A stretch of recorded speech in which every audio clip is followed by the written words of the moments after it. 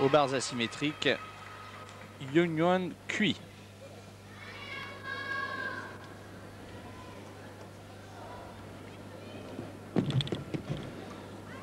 Une entrée en franchissement qui était l'entrée des imposés.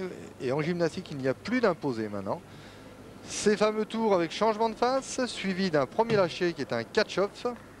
Franchissement dorsal. Oh là, un petit problème, vous avez vu, elle s'est écroulée sur la barre.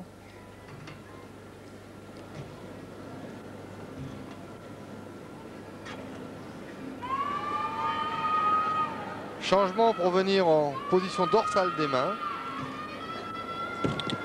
Et elle Ah était ouais. supposée faire une valse et Ouais. demi. Oui, oui, oui.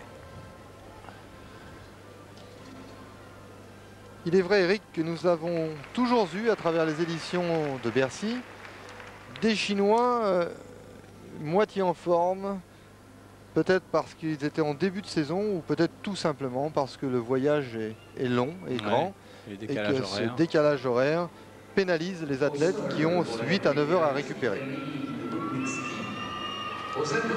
Double carpé, une petite sortie, un petit mouvement, je suis un petit peu déçu. La pauvre.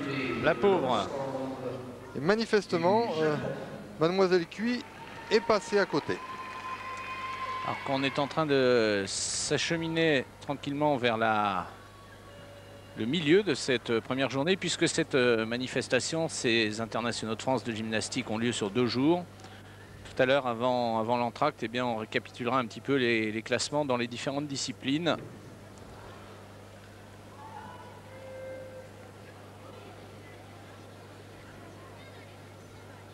Et ces phases sont donc qualificatives.